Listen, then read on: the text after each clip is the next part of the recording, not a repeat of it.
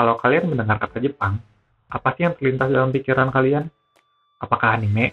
Atau Gunung Fuji? Atau SCB-48? Atau mungkin malah Yua Mikami, Tsukasa Owi, atau Emi Fukada? Kalau tiga nama terakhir yang Anda ingat ketika mendengar kata Jepang, saran saya sih cuma satu. Tobat, bos! Jepang memang punya banyak julukan, tapi ada satu yang cukup terkenal, yaitu negeri matahari terbit. Tapi pernah nggak sih kepikiran sama kalian, kenapa ya dijulukinnya negeri matahari terbit, bukan matahari yang lain? Untuk menjawab pertanyaan tersebut, kita harus mundur jauh ke zaman dulu kala. Zaman di mana Jepang belum menjadi Jepang yang kita kenal seperti sekarang. Jadi, dulu di sekitar abad ke-6 Masehi, ada sebuah klan di Jepang bernama klan Yamato.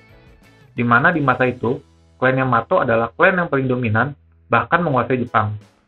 Karena dominasinya itu, Jepang di masa itu dikenal bukan dengan Jepang, tapi Wakoku. Eh, Loko Wakoku, bukan Yamato. Yang lagi berpuasa kan klan Yamato, bukan klan Wakoku. Apa karena dulu orang Jepang berewokan mirip Wadoyok? Jadinya mereka terinspirasi dari Wadoyok, bukan dari klan Yamato. Jadi gini, Bray. Yamato itu punya bentuk kanji kayak gini. Kalau kalian pernah belajar kanji, kanji itu kan punya beberapa cara penyebutan.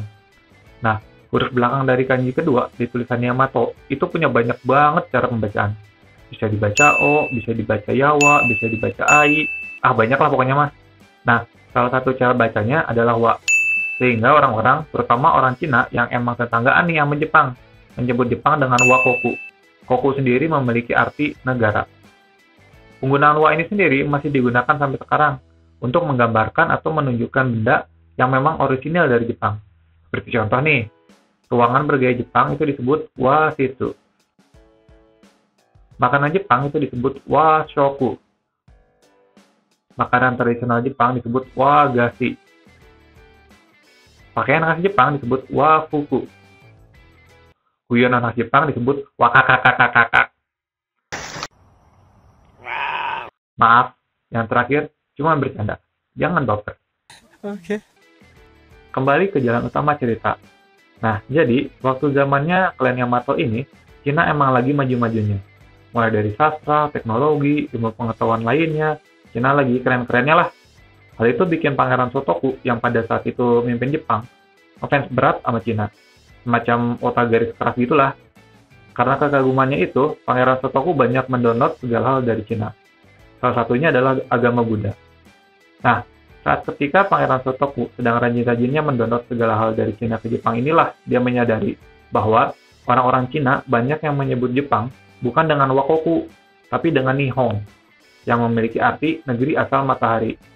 Orang-orang Cina menyebut Jepang dengan sebutan negeri asal matahari tidak lain dan tidak bukan adalah karena posisi geografis Jepang yang berada di timur Cina, sehingga orang Cina menganggapnya matahari terbitnya dari Jepang.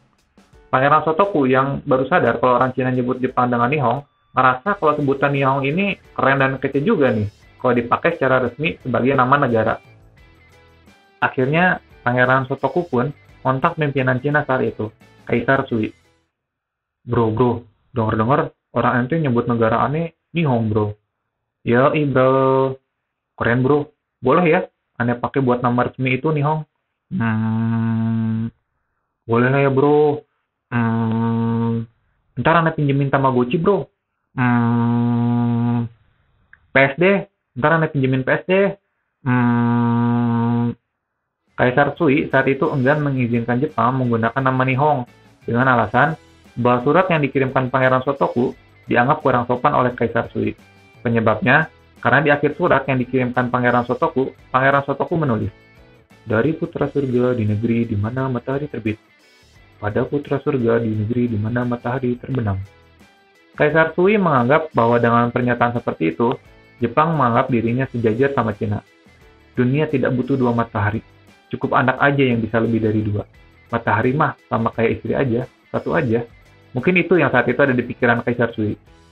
Seiring waktu berjalan, dinasti Sui digantikan oleh dinasti Tang, dan Cina dipimpin oleh permaisuri Wu Zetiang, yang mana merupakan satu-satunya kaisar wanita dalam sejarah Cina.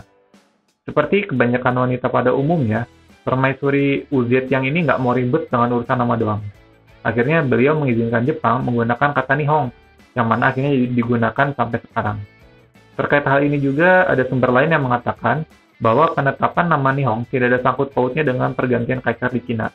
Melainkan pada tahun 645 Masehi, menurut sejarah Jepang, sebuah kudeta istana di Jepang menyebabkan diperkenalkannya reformasi Taika atau perubahan besar.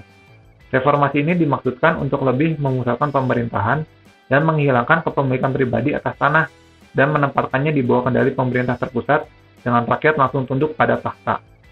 Sebagai bagian dari reformasi ini, Nippon atau Nihong di mana keduanya memiliki arti asal matahari dan Dai Nippon yang memiliki arti Jepang Raya digunakan dalam dokumen diplomatik sebagai pengganti waktu.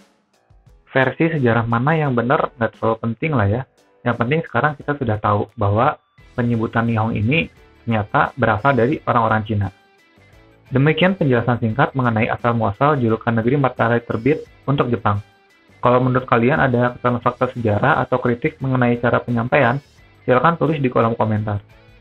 Terima kasih sudah buang-buang kuota menonton channel ini. Sampai jumpa di video berikutnya.